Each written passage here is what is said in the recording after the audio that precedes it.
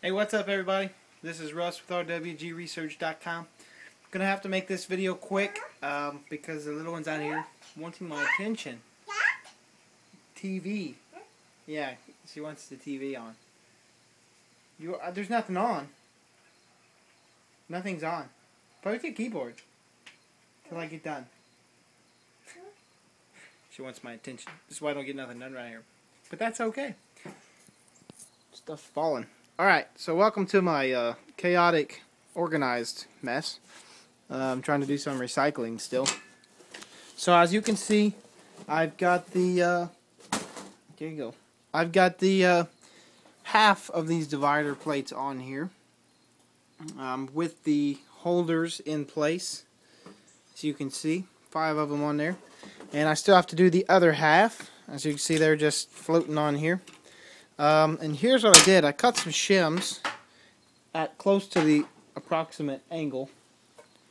And uh, they basically, they fit in here like this. One on top and one on bottom.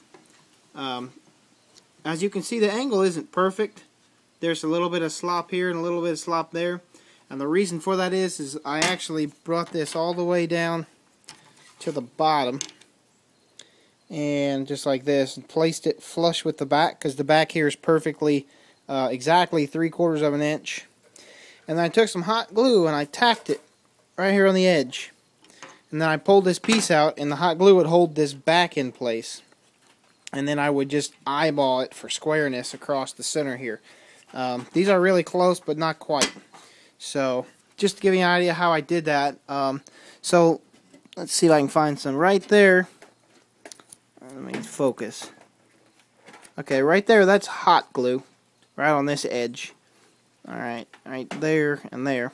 And then everything else all the way around here, except for the very, I point to it, the very bottom here. Everything else is um, a different type of glue. It's, it's called a welder. Here, let me help you. Set it down. Daughter's playing with a keyboard. Set it on the floor. There you go. Now do some typing. Gotta love the kids. So anyway, um, and then basically I took a type of glue. It's called welder. It's um, it's a rubber cement type glue uh, or a cement type glue, and basically just beaded it all the way around the top and the bottom. And you can see these things are uh, are stiff. So they're on there. On the bottom side, where I made this cut.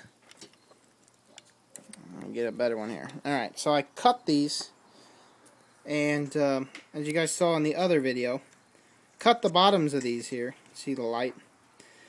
And then what I did is I put these on here and took some super glue and just super glued the bottoms. And you can see I'm bending them and they're not breaking.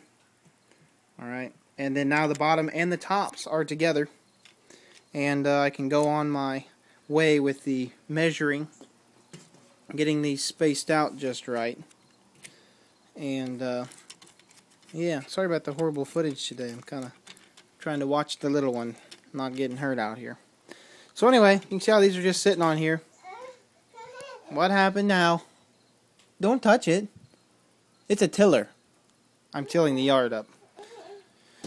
Okay, sounds like it's time to go. But I just wanted to give you guys an update Come here. What? What? Do you mean hold you? Come here. I got you. Up we go. Help me explain the EPG. Anyway, guys, I just wanted to let you know this is what I'm doing, and I wanted to know the share the progress with you. So it looks like those are going to stay very well, and I can go ahead and start spacing these out and getting them glued, and uh, looks like we're good. So oh, I did want to show you one more thing. Set you down for a second. Yeah, you want my camera. You want the fan on? There we go. There you go. Now the fan's on. Yeah, I know you like it. I did want to show you one more thing real quick. I wanted to show you this epoxy.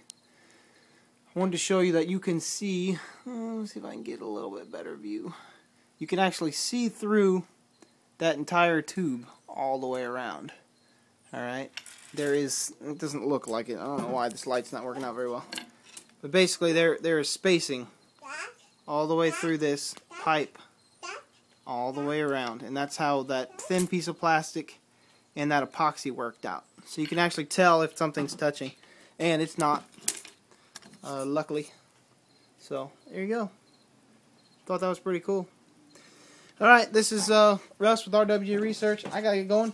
Kids are wanting my attention before she gets hurt. Don't sit on those. All right, guys.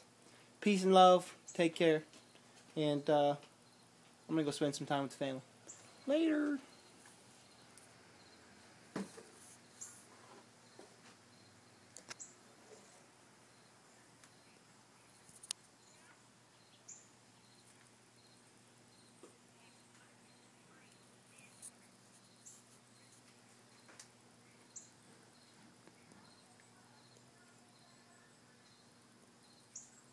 It's coming along, slowly but surely.